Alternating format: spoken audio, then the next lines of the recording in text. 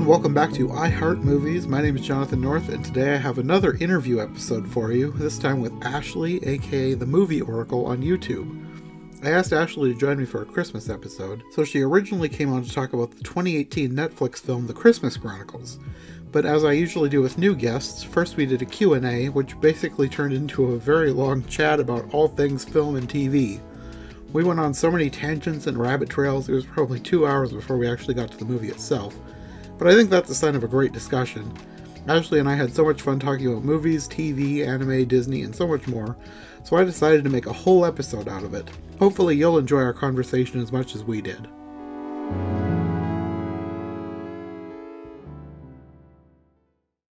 I have a few questions that I usually try to ask everybody.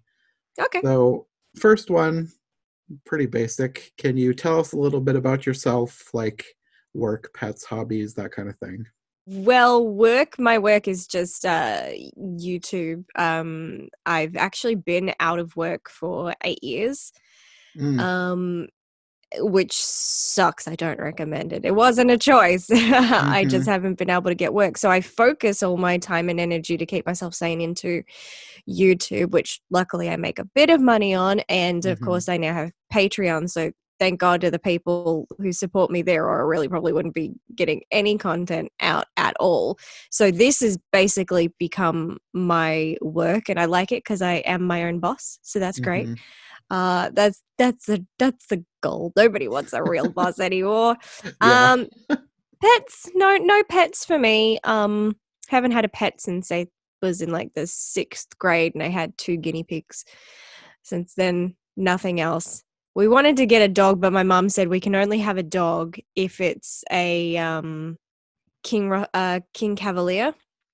It's the only dog she'll allow us to have, and we can't have cats because my brother and sister are allergic. So, Mm, but all the neighbors' animals just seem to come into our yard anyway. So I guess I'm babysitting everybody else's animals. So yay! that works. Yeah. You you get the the love and affection without without the cleanup. Not sure about love and affection. The cats from all around the neighborhood come to suntan on our deck in the backyard. Um, that's their favorite tanning spot. And I think my neighbor, who's right here, I think she is uh, must be a very bad owner, she and her children, because she has two Siberian Huskies, and they have now, on two separate occasions, broken through the fence, come into our yard, and one of them got in the house. So, uh, yeah, came into the house, came into my room. I'm like, there's a husky in my bedroom right now. What the hell is going on here? Um, That would probably be about my reaction if there was a strange giant dog that just showed up in my room. it was a weird night because we heard um barking in the front yard and it was it definitely sounded like the front yard not the street and we're like that's getting closer and so i go to open the door and the dog was right at the front door and i about had a heart attack but it jumped as well and then it went to turn around and then it came right into the house and made a beeline for my bedroom like what the uh, no, no you weren't invited. No no no and then I was just spending my entire night trying to wrangle the dog, which was going nuts because it's like, how did I get here? And how do I get back home? I'm like, great. And how do I contact my neighbors? I don't have their number. And they have um uh, special locks on their gate that you can't get in to even like go and knock on the door. So I'm like, oh, well, this is this is unfortunate. But I guess she heard the other dog barking and she came out. She's like, oh, sorry, they must have seen a possum. Like, no, did you not notice one of your dogs is missing? like cuz it's in here? She's like oh really? I'm like no i made that up. Must and have she's, seen a and she's like possum in our house. oh that's that's happened to us a few times that really? yeah that's life in australia. Yeah we've had we've had we've been invaded by a few possums. They practically live in our walls. And at one point we were renovating so we had half the roof kind of open and they're just like yay party time! So yeah if you ever wake up to a possum in the middle of your house uh that's kind of scary. I don't recommend that. They're actually quite terrifying in the middle of the night so yeah don't don't don't do that. I wake up to a lot of animals in my house which is weird because i live in the suburbs that this should not be a thing. If i lived in the bush that would probably be more normal but i don't but oh well that's australia i guess. That would be interesting. That that would be even more I don't know, creepy if it was an American possum that you found in your house because they can be creepy looking. They're they sort of toe the line between that. cute and creepy. But if they showed up in the middle of the night, it would be creepy. yeah, I noticed that. I uh I posted a picture a while ago of a, a ringtail possum. So we basically have the bush tail and the ringtail, and it's easy to tell because one has a very thin tail and has a white tip and it kind of curls, and the other one has a bushy tail. So ringtail, bushtail, really easy to mm-hmm. differentiate. And I took a picture and I put it online, and my American friend, um, I said, "Look, this possum got really." I, am like, I got up really close with this possum, so I thought I'd take a picture. And he's like, "That's not a possum." Say, "Yeah, it is." And he goes, "No, that's not a possum." I'm like, "Ah, uh, yes, it is. It's a ringtail possum. And he goes, No, trust me, I've seen possums. I'm like, This is an Australian possum. This is in America. This is what Australian possums look like. He's like, I don't believe you. And then he went and Googled it. He's like, Okay, according to Google, you're correct. I'm like, Why would I lie about that? you, you have to look it up when you have a genuine Australian telling you what they are seeing with their own eyes. I get that from Americans a lot. Like I say something about Australia, like um, someone, an American tried to tell me that kangaroos are an endangered species, and I cracked up laughing. And I'm like, dude, no, they're freaking not. And they're like, yes, they are. I'm like, where'd you get this information? I said, I live here. They're not endangered. They're almost considered vermin because they can populate so quickly and they kind of uh, can damage the ecosystem if they overpopulate. So culling them is kind of okay in certain areas. And he's like, no, no, no, no, no, you can't because they're nearly extinct. I'm like, dude, we eat kangaroo here.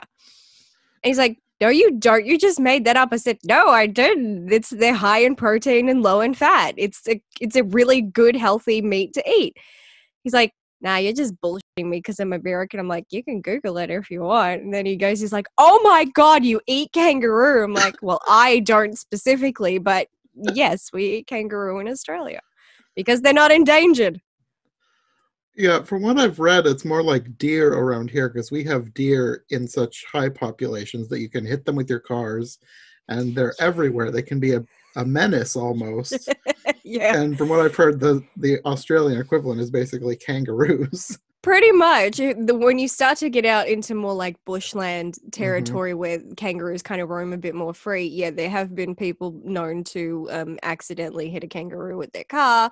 Um, uh, sorry to the kangaroo and sorry to those people who ended up hitting the kangaroo. Um, but yeah, that happens. I mean, there is like a subspecies of kangaroo that's like this big that people haven't even really heard of, and that's endangered, but that's not the kangaroo, you know, the one that's like on our coat of arms. So yeah, when when people just tell me facts about Australia, I'm just like, please tell me more tell, tell me tell tell me more. I don't know any of these things. This is this is fascinating to me. Like i'll say people who say um i'll never go to australia because it's filled with um deadly dangerous dangerous animals. I'm like well yes it's true. It is but your chances of ever encountering one are like slim to none so and American, like, america has big.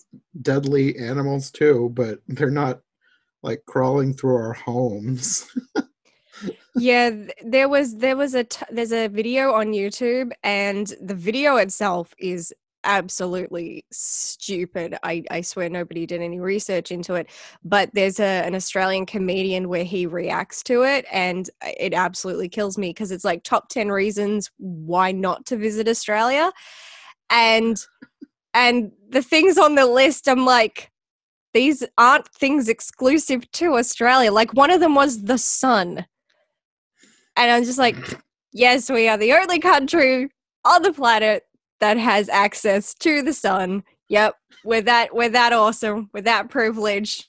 Everybody else, you're screwed. We've got the sun, yahoo! Um, yeah, little things like that, and then they had like rip uh, rip currents, and I'm just like, yeah, I'm pretty sure you could get those at any other beach in the world. You're scared of that, then just don't go out into the water. Yeah, especially because uh, in most, uh, I don't know about other countries, but at least in uh, most Australian beaches, if uh, people who monitor the beaches are like lifeguards, if they know that there's a rip current, they'll put up flags and it's like, don't swim between these flags because there's a rip current in that location. It's like, cool, I'll be over here then. And just little things. One person said um, they said snakes, spiders. Fair enough. Okay, those are a little bit more legit.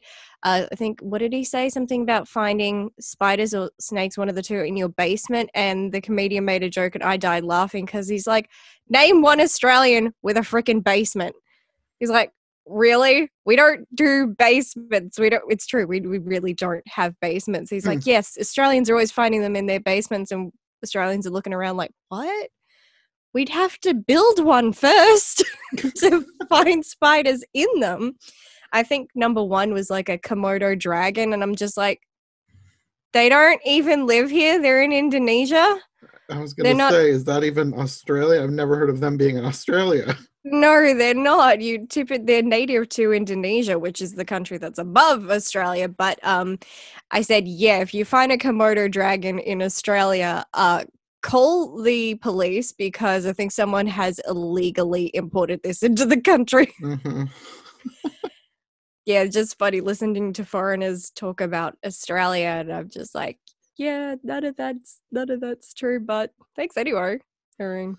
Makes us sound more interesting. But we're like, is there anything factual about about anything that people say? And I really don't think there is. So it leads to some very interesting conversations, but also leads to me hitting my head on the desk a lot. I'll give myself a concussion one of these days. Do you have lots of weird conversations like that with people? I do, and they're usually with Americans. that that makes sense. well, I, I did I did just recently have a conversation uh, with someone, and they were absolutely uh, gobsmacked to learn that we do not celebrate Thanksgiving. And I'm like, there's like maybe nine countries in total that celebrate Thanksgiving, and they're all in that part of the world. Uh, yeah, like, each Thanksgiving is about a different thing that they're supposed to be giving thanks for. It's not like Thanksgiving is just a general thing that the whole world does. yeah, no. And then Annie's just like, oh, are you really cold? Because it's really cold here. And, and he's like, oh, winter. I'm like, no, we're moving, we're, we're moving into summer over here. He's like, what? And I said, yeah, I live in a different hemisphere. So therefore we have the opposite seasons mm-hmm. to people in America. Um, and he was very confused by that. I'm like, you do realize Australia is not in America, right? And and then I had the most interesting question where I actually had to step away from my computer to go and fathom what I had just read, where um, they asked me, So, is your hair really blue? And I went, um, I, I tried to give them the benefit of the doubt. I'm like, uh, please tell me you're asking me, is this a hair or a wig? Like, please tell me that's the question and not, were you born with blue hair? Because if that was the question, I was going to be like, okay, I I've had enough internet for one day. Thank you that that was that was quite interesting. What were they asking? Did they clarify? I think they were indeed asking if I was uh, born with blue hair. Do they think that Australians are like a different species that they have blue hair? we are descended from Smurfs. Uh, so, yes, many of us uh, still contain the blue gene that is uh, found in our hair or perhaps our eyes. So, yeah, maybe that's what it is. Wow. I know some people can be kind of dumb, but it always there's some days I'm just really surprised by what I find out that some people think about things. oh, me too. Well, I guess we can move on to the other questions. sure thing. Go for it. I'm sure something crazy will pop up there too. Well, the next thing I was going to ask is how did you get into YouTube and did anyone inspire you to start doing video reviews and like what is your inspiration for that? Um my channel is so eclectic like when somebody's like what do you do? I'm like, "Oh god, here's my resume." Like because I do so many random things on my channel. Like I have several series, but I, I didn't really I didn't actually know when I started doing YouTube that um movie YouTubers actually existed. I didn't know that was a thing. I wasn't subscribed to any. I didn't watch any, so I didn't know that. But I'd been someone for a very long time who everybody would kind of go to for movie advice. If there was like a sleepover going on, everybody would come and be like, "I'm I'm having a sleepover party. Um, what movies would you recommend?" I'm like, "Well, what, what kind of stuff do you want?" And they're like, "Oh yeah, horror." I'm like, "Okay, one moment. I'll grab my encyclopedia. Here we go." um, and uh, I basically grew up in a video store because ever since I could remember, my brother was working in a video store. So that was basically where I would hang out most of the time. So I've just always loved movies, and everybody knew me as like the movie expert. Like we would maybe do movie games in um, school, and if people got me on my team, literally, this actually happened. A, a guy in one of the other groups, he went, "No fair, they've got Ashleigh." it's the only time in school I ever felt popular. Um, which was really good to me. Actually, the entire group gave up on that challenge and they just handed me the paper and they're just like, you can just do this one. We'll just go with whatever answers you have. I'm like, sweet, we won. Um, and yeah, I would just sometimes post like, uh, I, I guess you'd call them like mini reviews, but I just was posting my thoughts about certain movies on Facebook. And then I had a friend, uh, he kind of started calling me the movie oracle because of things that I could predict would happen in films and being that he was like, oh, and you and all the your movie wisdom, he's like, you should do movie reviews. I'm like, nah, that's. I'm like, I don't think I could actually do that on that. Like, he's like, yeah, no, you should, because people ask you anyway, and you do kind of do them on Facebook. I'm like, ah, uh, yeah, I don't know. He's like, yeah, and you should do a YouTube channel. I'm like, okay, that's pushing it. And then one day, I guess I decided to do it, and I decided to test the waters, and I made a couple of um charmed uh, i made a charmed tribute video i made a harry potter tribute video and i was like so happy about those and that was kind of me testing out like my editing skills and that was because that was the back in the day when YouTube mostly consisted of tribute videos for various films and mm-hmm. TV shows. Like that's what I used to always watch all the time. And um, then it kind of, I spent months preparing my first video, which was um, uh, counting down TV shows about witches. And I worked on it for so long, scripting it and editing it and putting all these pieces together and, and music overlays and all this stuff and then when i did it i was just like oh my god I, I made my first video and at the time i didn't think you could have a video be a certain length of time so i actually ended up splitting it in half and making two videos and i regret that now because i realized afterwards I was fine that I could actually um, have a, a, video of a certain amount of minutes because the sometimes the YouTube um, guidelines are very confusing to read. Mm. Um, and the algorithm and, is confusing to figure out what it wants. that's that's very true. Um, and it kind of I was very nervous at first, and it took me a while before I kind of upgraded to full on reviews. And then I kind of only did them sporadically because I felt very nervous getting in front of the camera. And then I got to a point where I was just like, "Eff it."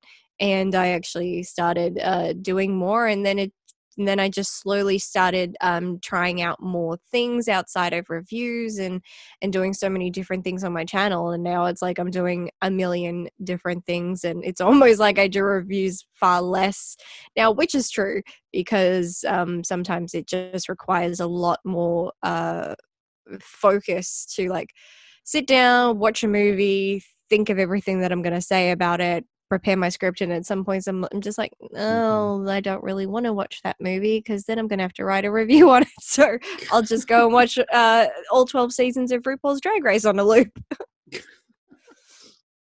Well i guess we can move on to the main questions that i usually ask. We've only gotten to two of my questions but oh sorry you're going to have a field day editing. That's Oopsie. okay. I usually ask about favorite things so what is your favorite movie or if you can't pick one maybe just favorite movies in general just a few? Um my favorite film of all time is the adventures of priscilla queen of the desert. That is my number one favorite film. And i never thought my favorite film would actually be an australian film. One still surprises me. But yeah it's uh, I've, I've grown up watching that. I love it. It's campy and it has a soundtrack uh, to absolutely die for. I could, I, I seriously, I cannot tell you how many times I've watched this. Not even just like in my life, but like this year alone. hmm. I've heard the name, but I don't know anything about it.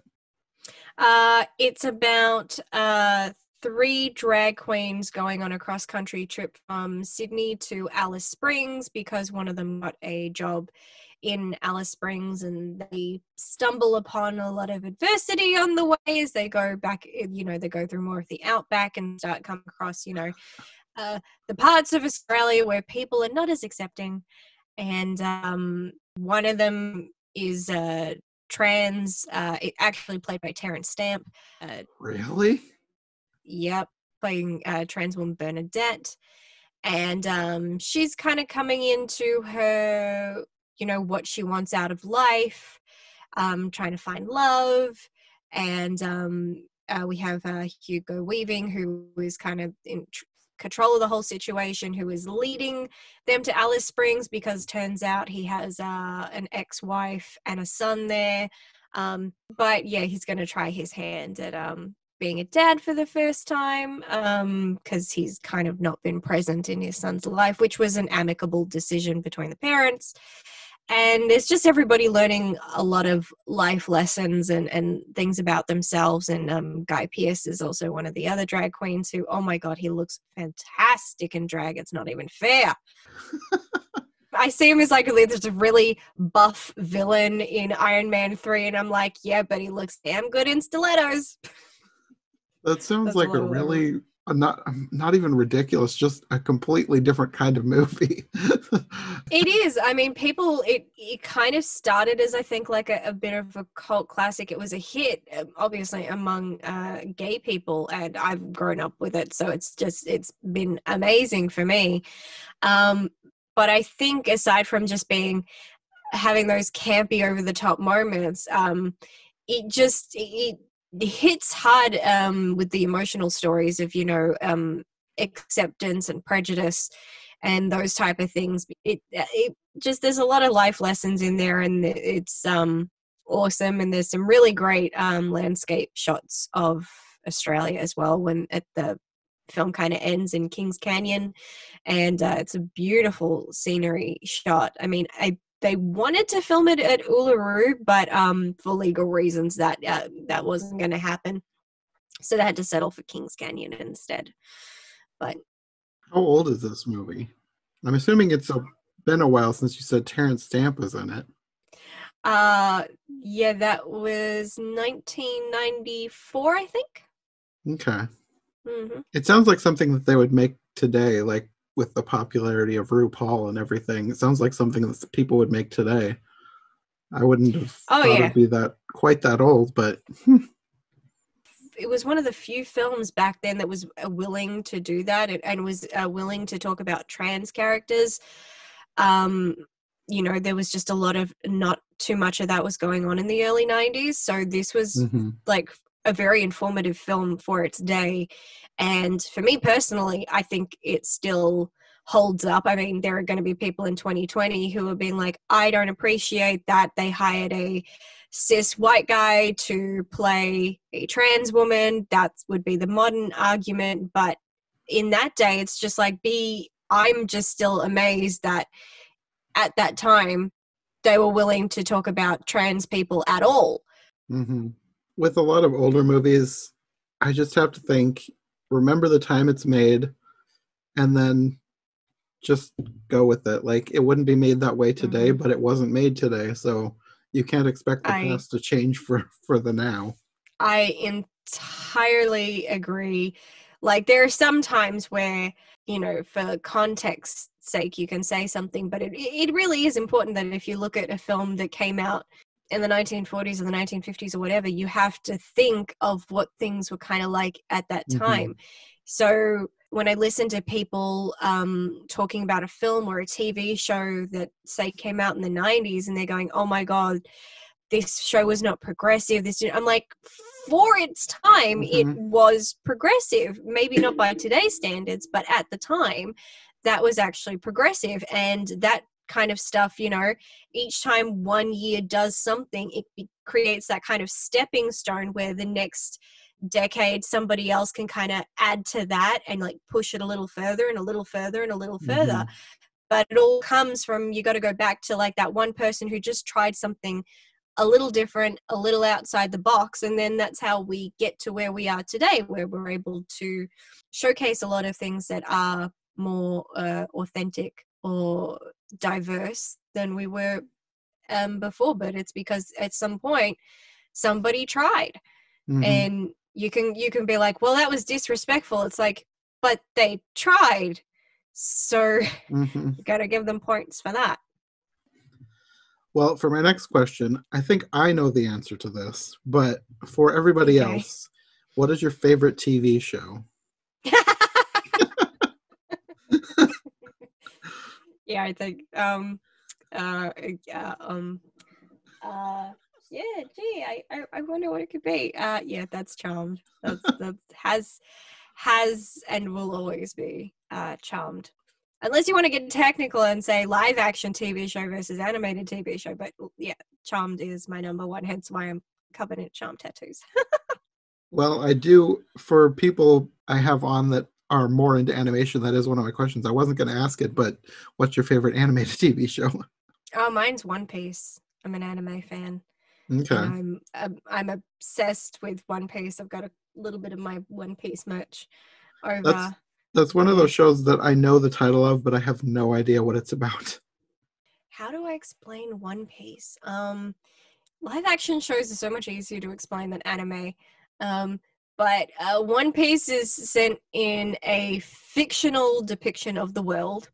It's uh, real, and there's uh, pirates and marines, and there's all these different countries and stuff. And it's about it mainly centers around this um, pirate, uh, Monkey D. Luffy, and he wants to become king of the pirates. And uh, many pirates uh, in the world uh, want to achieve the same goal. Basically, if you find the former king of the pirates uh, hidden treasure, whoever finds it, which is called the One Piece, if you find it, you become the king of the pirates. So he and his crew kind of set off with that mission in mind. That's his dream, but each member of his crew has a different goal for themselves and he's kind of also they they want to help him achieve his goal and he wants to help them achieve their goals and that's kind of how they become such a united crew because they all have like dreams and ambitions and they just kind of bound together to help each other figure that out and meanwhile they go through all these countries and pirates are considered evil and there are plenty of bad pirates but um luffy and his crew uh they're good par- they're good pirates they're good people and they've often helped save many countries from civil wars and uh terrorists and uh um come across uh, all the nasty marines. It's kind of a depiction of the world thinks that the good guys are bad guys and that the bad guys are good guys and the bad guys being the marines who are tra- hunting down the pirates and then turns out marines are not nice people and they're led by the world government who are a bunch of racists and slave owners and there are a lot of themes in the show that kind of reflect things that have happened throughout real world history where Mhm. it be um, slavery, racism, um, so many of those. It's just done with different um, creatures and entities, and it's very, it's a very emotional show. It's probably it's the only show on the planet that will make you cry about a boat. Um, that's a fact. That is an actual fact. I have a um, top ten emotional One Piece moments on my channel. It's my most viewed video on my channel. And one of the number one comments you will see on that video is, I can't believe I'm crying about a freaking boat. so it's it's a very hard hitting um, show, very emotional, but at the same time it's also hilarious. And I adore the character of Monkey D. Luffy because he's someone who kind of wills himself to get stronger, even when it shouldn't be possible, but it's by sheer will and the fact that he's always fighting for something or someone, and he will never let himself lose if it means that it'll affect somebody else or his own dreams. He's it's like, oh look, you're gonna die, and he's just like, mm, yeah, no, sorry, I disagree with you on that. I really can't die yet because you see, I have some ambitions that I wish to achieve. So until I do that, I'm sorry, you're not killing me today. And like, oh my god, I will like cheer for Luffy all day long. I'm like, I love Luffy, I love Luffy. I mean, we, we have well over 900 episodes of One Piece so far. So Oh, no. I was just going If- to if- ask how many episodes are there? I mean, I mean, it has been going since like I think 1997. So we have well over 900 episodes now. Uh, yeah. Uh, But I- then again, there can be like an arc or like a fight that is going on, and that fight can last like 30 to 40 episodes. Like, like sometimes I'll, someone will be ahead of me and I'll be trying to catch up, and I'm just like, oh, I'm a bit behind. And I'm like, oh, is Luffy still fighting that dude? And they're like, yeah, Luffy's still fighting that dude. I'm like, okay, I can wait a bit longer. that seems to be like my biggest barrier to entry with so many anime because I'm somebody who doesn't want to just jump into it. Like I want to start at the beginning, but like if there's Yeah. 900 episodes, it's like I can't I don't have time to do that. It's actually really easy to get through uh, episodes of One Piece because you know if you go to like something like Crunchyroll to watch an episode, it like oh look this episode goes episode goes for thirty minutes. No, it actually doesn't. If you cut out the intro, the uh, previously on One Piece recap, and then the opening credits, and then the end credits, and then the preview of what will happen in the next episode, you've probably got like a five to ten minute episode. So if you cut all that stuff out and you just watch the actual actual episode, it's like, oh, five to ten minutes, sweet. I can watch like a hundred episodes in a day. Um, yeah, so technically without all those things, episodes are really quite short, with maybe being at a maximum of fifteen minutes long. That does sound slightly more doable. It, it is. It is. Yeah. So, along the same lines, do you have any favorite animated movies? Uh, I have many favorite animated movies. Um, Alice in Wonderland is definitely um, up there as one of my favorites. It's like when I don't know how people define what their favorites are, but for me, one of the definitions of for me of what makes something my favorite is something that I can watch over and over and over and over and over again, and I won't get sick of it. That for me creates it as a, as a favorite. Unlike something, it's Mhm. like, oh, I love this, and then the more I watch, I'm like, mm, I love you less each time. So maybe no, maybe I don't love you as much as I thought I did Mhm. um alice in wonderland i there would be times where i would just um set it to repeat on dvd and i just keep it on the tv all day go to sleep alice in wonderland still on wake up alice in wonderland is still on like yo um aside from that one of my um i don't watch it that often but it's because i enjoy it so i i like to feel a bit more fresh with this one um, is um, Atlantis: The Lost Empire. That's probably one of my yeah one of my favorite um, Disney films. Has one of my favorite. Uh, it has my number one favorite uh, Disney well animated Disney queen, which is Akita, and um, yeah, I love that. I think that's a very underrated, underappreciated film. Yeah, I actually just watched that like a month ago. Oh yeah, Yeah, my cousins and I watched it. did you like it though? Yes. Yeah, I, I'd seen it before. We hadn't seen it in years, and we're like, let's watch Atlantis. The sequel isn't as great, but it I haven't some seen the pretty sequel. you know they're all you know relate you know direct to dvd stuff i mean yeah. it wasn't it wasn't as great but i did like some of the things that they did with it um so overall i mean it's atlantis so as long as i have atlantis i'm happy mm-hmm. I so i was loving it with that, I'll probably watch the sequel when I get to Atlantis. When I, because I'm going through all the Disney movies on the podcast. Mhm. I don't have a specific timeline. Just every once in a while, an episode will be focused on Disney movies, but I'm Right. doing them in order. So when I get to Atlantis, I'll do the sequel because I'm going to do the sequels when I get to each movie in the lineup. will most you also be doing tv series spin-offs that's a, that's a better question Probably, but I don't know if I'll watch every episode. Like there's that there's like a Little Mermaid TV series from the 90s. I don't i don't know if and I'll it's amazing All of them. Maybe if I end Well, up there's not liking that it, many episodes.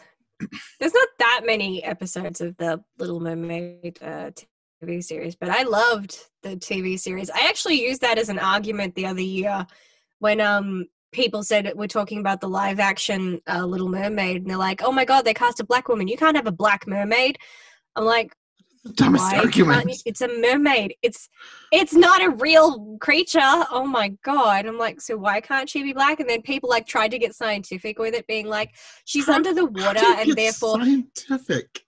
because they're saying that you develop black skin due to um, melanin that is thanks to the sun and if you live under the water then you are not exposed to the sun so therefore she should have really pale skin i'm like she's a fing mermaid dude just I mean- stop it you could be whatever color is under, under the sea already. it's it's so dumb that people want to try and add that kind of weird scientific argument to something that that has no scientific bearing. It's I know, and, and that's why I I um, mentioned um, an episode of the TV series The Little Mermaid where the Little Mermaid makes a new friend, and I'm like, um, for all of you saying that you can't have uh, a person of color being a mermaid, I'm like, please meet like I think her name was Gabriella, and she was she had brown skin and a and a pink tail, and she was also um, deaf she was a deaf person of color mermaid introduced in the TV series. And wow, that post really blew up. But I was just like, and here is my point. I'm like, they've already done it. Mhm. I'm like, so all of you kicking up a fuss going, nope, mermaids are white. I'm like, this one ain't, but whatever. I'm like, they already did it. But you can say whatever you want, and then people still trying to be like, no, but scientifically speaking, I'm like, you can't say science about something that doesn't exist science only applies to like real life things. You can imagine whatever you want. It's fantasy. But the TV series spin-offs for most um, most um, Disney movies are actually pretty good. I like The Little Mermaid. I like the Aladdin TV series. I remember watching Aladdin Um, when I was a kid. I don't think I knew that there was a Little Mermaid series when I was a kid, but I knew there was Aladdin, and I watched that a lot. I knew about the Little Mermaid one because um, my brother's video store used used to have episodes on VHS, and the covers were really sparkly, like fish scales. It was like, Wee! so I used to love getting those. Um, and I remember some of the songs too because there is a, a bit of um, singing. Um, and they had the Mobster Lobster. Yeah, he's a big lobster and he's a mobster, so he's called the Mobster Lobster. It's really cool. Um, That doesn't sound yeah. scientifically accurate. No, and he actually, I'm pretty sure he wore like a like a suit jacket and a top hat. But you know, science yeah. for an animated TV series. Um, Hercules, I watched a few episodes of that, but I haven't watched that much. But um, yeah, they were actually pretty good with their um TV spin-offs, at least I think. And then they actually had a few uh, videos where they told single part stories of certain Disney princesses, and it's called like the Princess Stories. I have one DVD. Um, I never did end up getting the other one, and I think it's the only time they've ever actually continued the Sleeping Beauty storyline. It's the only Hmm. time that she's been introduced again um, in animation form, and it's basically uh, it's a sh- it's like a short story and uh, they have one for like her and i think there's one for like cinderella and um, ariel and jasmine um, jasmine's is really good she gets two songs in that both performed by lea salonga just like in um, the movies Hmm. so they're great and um, her backstory gives us uh, her little short gives us a bit of backstory about her mom it's kind of the only time it gets mentioned and um, with the sleeping beauty one it's her parents have gone away and so she's kind of like in charge of the kingdom and we, it's the only time we see her performing like princess duties and like i really enjoy that because you know that you know sleep, sleeping beauty was it was done a very long time ago. Yeah it was done a very long time ago so we never did a sequel or anything so and i always did wonder growing up i'm like whatever happened to aurora you know once she got reunited with her parents? So i like that i got this like little short that kind of showed me she you know kind of had this life that she really got right into it as well and really was adapting to it and I, i'm pretty sure the three fairies returned and they were helping her out and it's just really nice that they did that. I'm, I'm gonna find volume two on I never did get it off eBay, but I'm going to one day. I will do it. it's gonna happen. I suppose I should probably cover them in the future too, because I was planning on doing like all the direct to video spin off things. I guess I'm, I think I knew about those, but they weren't even in my head as something to cover on the podcast. But maybe I should at some point. Go for it. Why not? Just throw another thing on the list. yeah. Well, at this point, my list is long enough that I'll be going on it for years. I know how you feel. I just started a TV time series on Patreon and I currently have a list of over 300 TV shows I plan to watch for it. Whoops. I bet I probably IMDb. would end up with a list that long if I actually sat down and wrote a list. But I don't know if I want to I don't know if I want to see my list. I don't blame you. Well, I guess this kind of ties into another question. What was your favorite movie or cartoon or show growing up? Oh, um honestly, the one thing that I used to watch um two things off the top of my head is I used to every morning before school and sometimes uh, if when it was on a different channel a different time of day was Sailor Moon. I didn't realize as a kid that it was an anime because, you know, it was played as an early morning cartoon show, but my mornings consisted of my breakfast, my orange juice, and there goes the Sailor Moon opening theme, and then going to school and at recess time us girls would get together and we'd play Sailor Moon. And um funny enough, I was always Sailor Mercury. Now I really can be because I have blue hair and she has blue hair. So now I really can be Sailor Mercury. Friend of mine, she always insisted on being Sailor Moon because she's blonde and Sailor Moon is blonde. She's, she's like, I have to be Sailor Moon because I'm blonde and she's blonde. And I'm like, well, I don't have, well, I do now, but at the time, I'm like, well, I don't have blue hair and I'm playing Sailor Mercury and she's playing Sailor Mars and she doesn't have black hair with purple highlights. So why can't we just change it around? But nope, she was determined to play the lead. She always had to be the star. Blondes. just kidding. Just kidding. just kidding. She was actually a child model. That's why she was so up herself.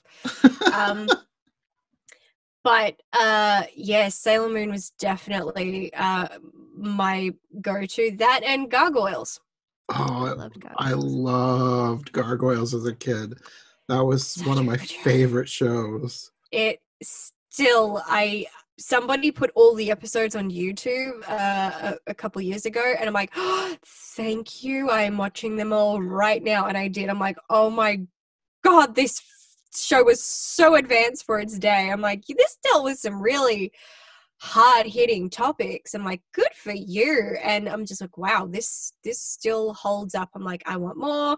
I want a revival but i want the same animation. I want the same animators. And i want well i'm sure maybe a couple of them are dead because that's just how the world works. And i also want the same voice actors. I want everybody to come back. And i just wanted exactly how it was. But yeah i'm like couldn't get enough of um gargoyles there have been a lot of revivals of shows from the 90s recently, so maybe Gargoyles could be in the future. Yeah, but if they do, then they're going to do it with, you know, the new modern animation style like they do with everything. You know, my brother introduced me to Thundercats, and um, I thought that show was awesome fun. And then, you know, a couple years ago, they're like, and guess what? We're bringing back the Thundercats. I'm like, oh, yay. and then I saw the animation for it. I'm like, no, don't like I, it. I I, I never saw the original Thundercats, but I watched the show. I suppose it was like ten years ago. I don't remember exactly how long ago, and I really liked that. And then it got canceled, and then they brought it back as that cartoon. And I still haven't watched the cartoon.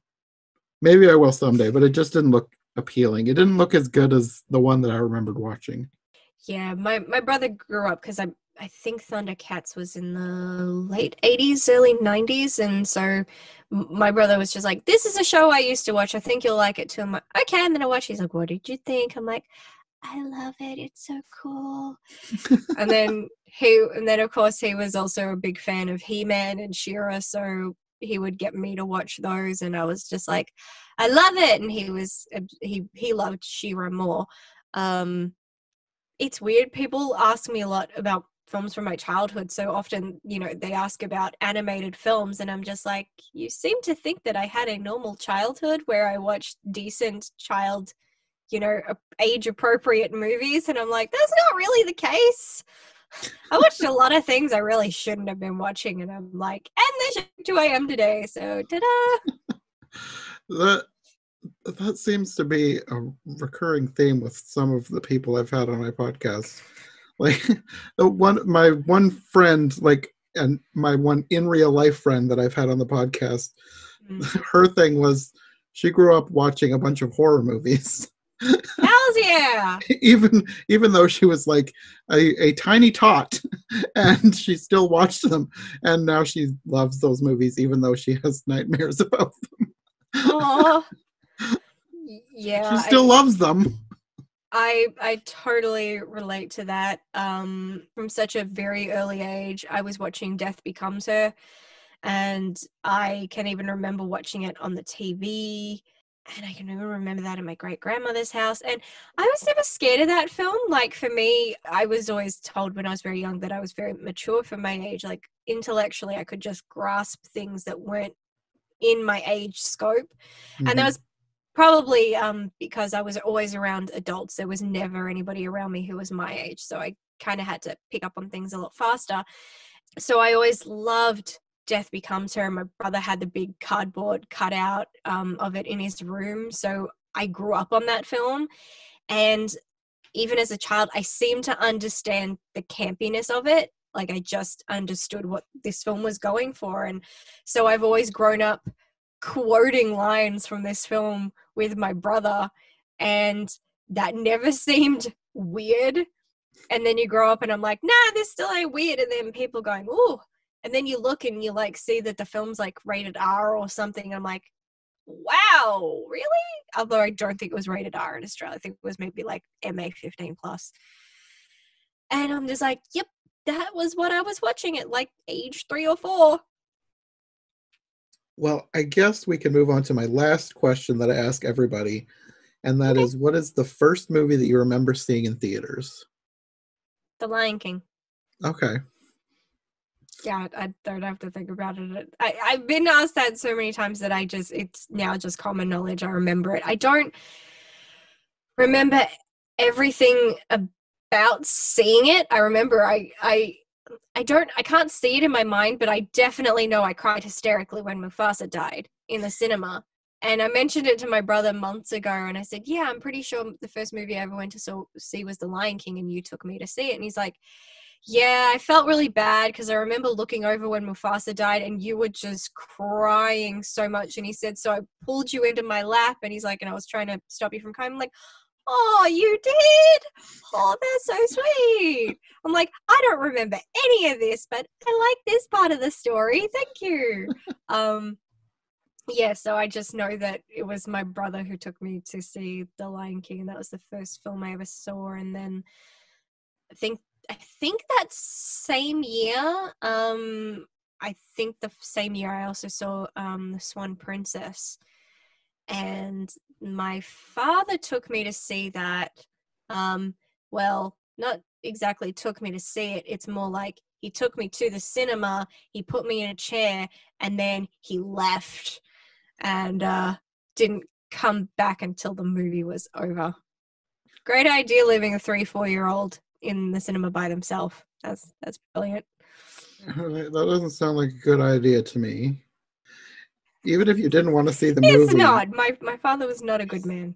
But I I remember I don't remember again because it's so long ago so it's not like i remember watching the whole film but i remember like sitting there and i remember that uh, opening coming up and the title like that part i remember very well um yeah and i think that might have been the same year so it's weird like being that I know that I went to these films and I can mm-hmm. remember knowing that I went, but it's like, do I remember actually sitting there and watching it? Not really. I think I mostly remember The Swan Princess a little more because it's tied to memories of anxiety of being like, where's dad? Where's dad? When's dad mm. coming back? So that one sticks yeah. with me a little more. Whereas maybe I blocked out The Lion King because I was traumatized by the death of Mufasa. It's like I don't, I don't, I can't relive it. I can't relive it. Two different kinds of trauma from the first two movies in theaters. Uh, And yet I still managed to end up loving movies. So That's good. there we go. Thank you so much to Ashleigh for joining me on this episode of I Heart Movies. If you want more from her, I'll have her links in the description below. And of course, next time Ashleigh will be back. Like I said, our original plan was to talk about the Christmas Chronicles, so that's what we'll be doing in the next episode. So thanks for listening, and we'll see you next time.